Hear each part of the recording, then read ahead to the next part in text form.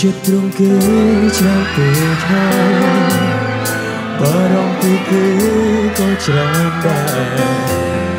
នៅមិនគ្រប់គ្រងទីមែនទេ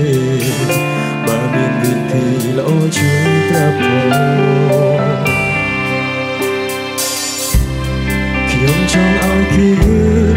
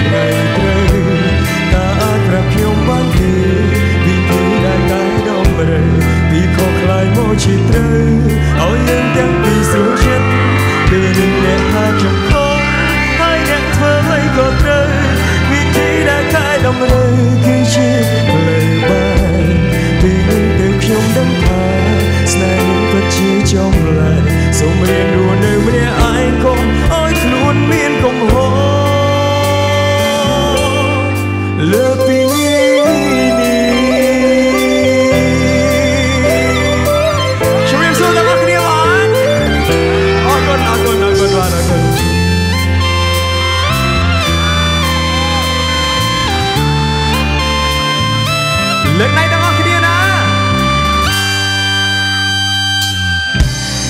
ក៏តែស្រឡាញ់ក៏ត្រូវខំគ្នានៅវិញទៅគិតរកខំត្រូវ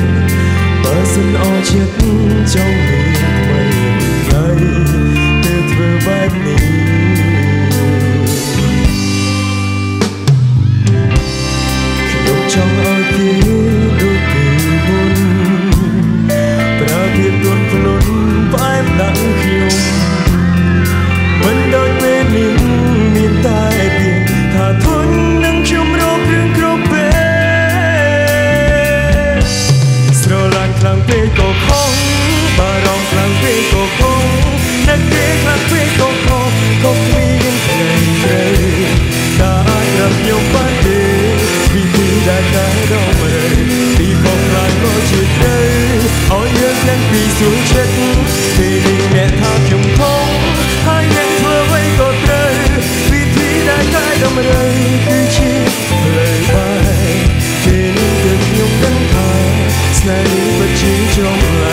សូមរៀនរស់នៅម្នាក់ឯងកុំអោយខ្លួនមានកំហុស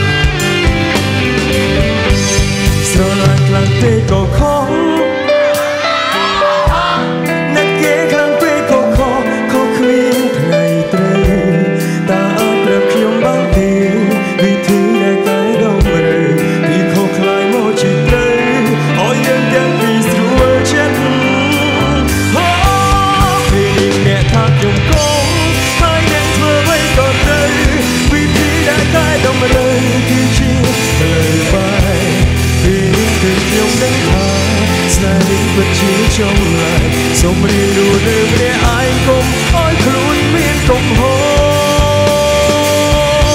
សលើពីនេះ